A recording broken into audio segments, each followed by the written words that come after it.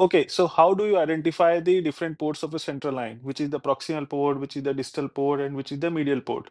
If there are no color coding there, there are no markings, how do you ide- identify? So let's understand this. All the suppose these are the three lumens of the uh, central line. It- all three are of the same length, and this is your patient side, and this is the insertion side. Means from here the uh, uh, line is going towards the patient. So suppose we have inserted this, this lumen is of this length.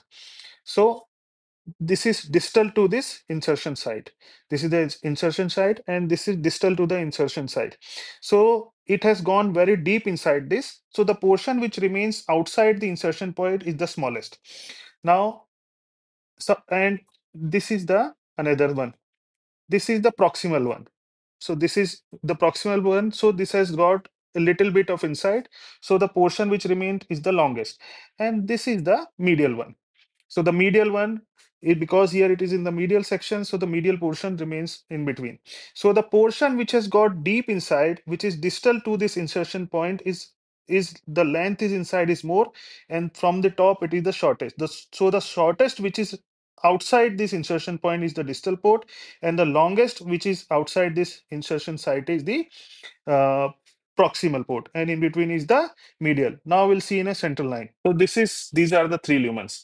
So this is the shortest one outside. So that means the longest portion is inside the patient. It is farthest uh, uh, inside the vein. So it is the distal port.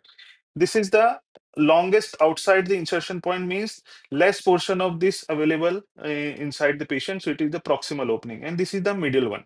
So the shortest one portion which is outside should be the distal opening because if the length maximum length of the patient um, catheter is in inside. So you can see that this white one is the distal one.